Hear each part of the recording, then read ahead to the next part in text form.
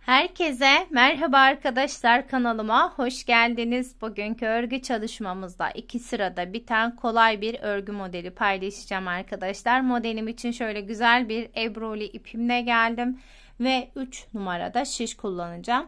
Videoma geçmeden önce sizlerden ricam kanalıma abone olup yorum yaparsanız çok sevinirim. Yanındaki zili açtığınız takdirde bundan sonraki paylaştığım her yeni videodan anında haberdar olabilirsiniz. Kanalıma abone olmak tamamen ücretsizdir. Dilerseniz hemen modelimizin yapım aşamasına geçelim. Evet ben şişlerime şöyle ilmeklerimi çıkarttım. Modelimin ilmek sayısı 4 ve 4'ün katları artı 3 ilmekten oluşmaktadır. Sizler ne yapacaksanız onun boyutunda ilmeklerinizi çıkartabilir ve alt kısmına da istediğiniz lastik modelinde uygulayabilirsiniz. Şimdi modele geçmeden önce iki sıra zemin hazırlayacağım. Kenar ilmeğimi de düz örerek başlıyorum. İpi kendimden tarafa aldım. 2 ilmek ters, ipi arkaya aldım. 1 ilmek düz. İpi kendimden tarafa aldım. 3 ilmek düz, ipi arkaya aldım. 1 ilmek düz. 3 ilmek ters, 1 ilmek düz. Kenar ilmeği olduğu için şurada kenarlarda 2 ters örüyoruz ve 1 ilmek düz ördüm. Örgümün diğer tarafına geçtim. Kenar ilmeğimi örmeden aldım. İlmekleri gördüğüm gibi örüyorum. 2 ilmek düz, 1 ilmek ters. 3 ilmek düz, 1 ilmek ters.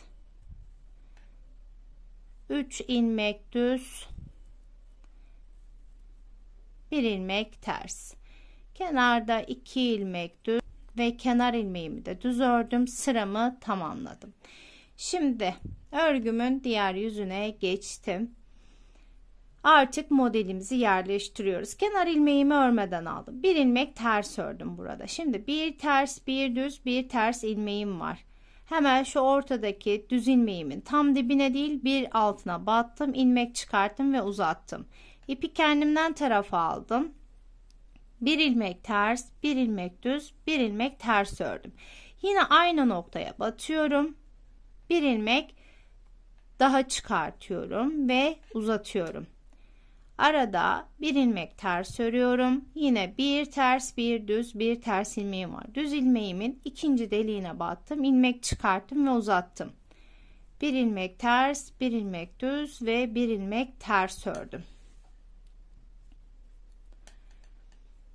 ve aynı noktadan bir ilmek daha çıkartıyorum ve uzatıyorum. Bir ilmek ters ördüm. Şimdi ikinci deliğe batıyorum. Bir ilmek çıkarttım. Bir ters, bir düz ve bir ters ilmeğimi ördüm. Aynı noktaya battım. Bir ilmek daha çıkarttım. Şöyle bir ilmek ters ve kenar ilmeğimi düz ördüm. Sıramı tamamladım. Örgümün arka tarafına modelimin ikinci sırası ve son sıradayım. Kenar ilmeğimi örmeden aldım. Bir düz ördüm. Burada iki ilmeği soldan sağa doğru düz örerek kestim. Bir ters, bir örmeden aldım, bir düz. Örmeden aldığım ilmeği ördüğüm ilmeğin üzerinden atlattım. Bir düz ördüm. İki ilmeği soldan sağa doğru düz örerek kestim. Bir ters, bir örmeden aldım, bir düz örüyorum. Örmeden aldığım ilmeği ördüğüm ilmeğin üzerinden atlattım. Bir düz ördüm. İki ilmeği soldan sağa doğru düz örerek kestim. Bir ters, bir ilmek örmeden aldım, bir ilmek düz ördüm. Örmeden aldığım ilmeği ördüğüm ilmeğin üzerinden atlattım. Bir düz ve kenar ilmeğimde düz ördüm. Sıramı tamamladım.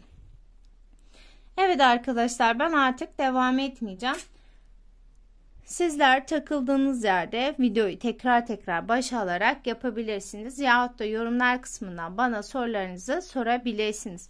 Şimdi kamera arkasında böyle farklı bir ipimle de çalıştım. Bu şekilde modelimizin ilerlemiş hali arka yüzü de bu şekilde.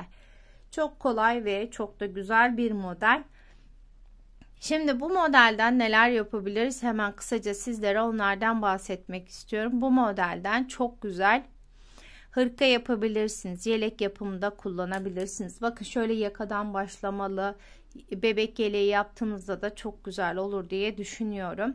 Umarım faydalı bir video olmuştur. Beni dinleyip izlediğiniz için hepinize çok teşekkür ediyorum.